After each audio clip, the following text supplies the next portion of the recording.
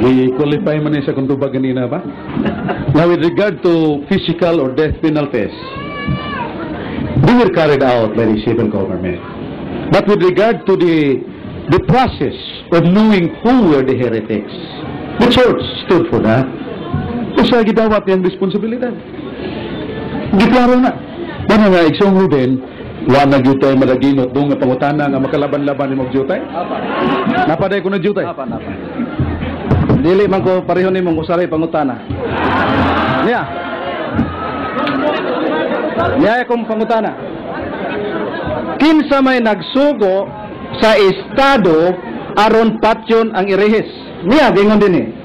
It is therefore proved beyond question, says Bakandar, that the church, in the person of the popes, used every means at her disposal, especially excommunication, to compel the state. Ang pangutana, kinsay nagsugo, Bradsok?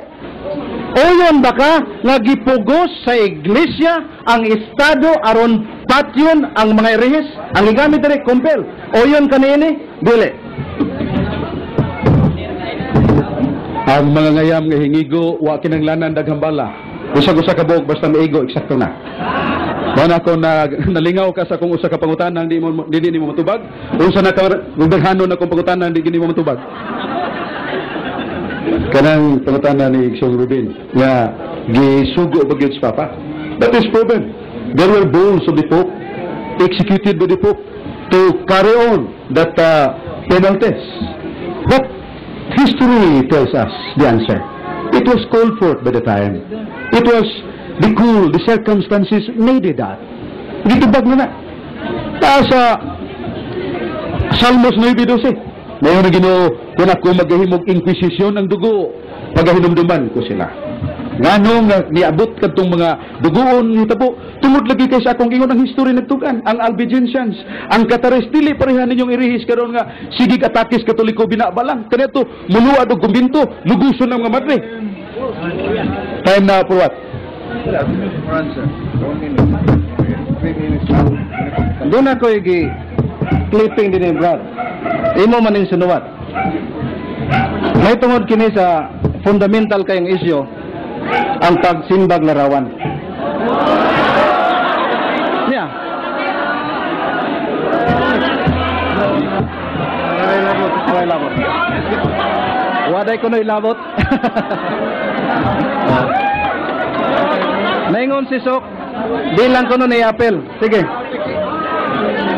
Kaya nga kung pangutana unta. Ang akong pangutana unta. Panitugot pa.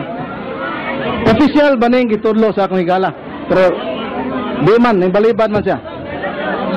Ari kita sa issue Brad.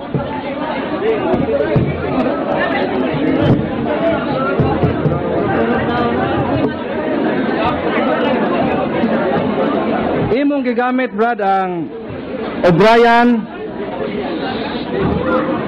Usa ba kini ka impartial nga libro or it's written by Catholic person?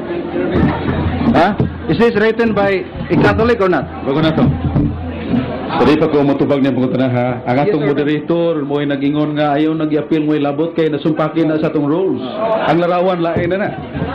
Well, my answer is though that is written by a Catholic, but it is covered by the English standard because that is history. And history cannot stand without bibliographies, sources. Doon sa muyon ako na sinawat ng Katoliko. Nasunod na standard reference kay world history na. Doon na may legal and standard sources. Okay, natural kay Katoliko nagsulat paborgos Katoliko. Kini sang question box. Katoliko gyapon yung author ni, no? Kining crusade and the cathedral. Di ba Katoliko gyapon?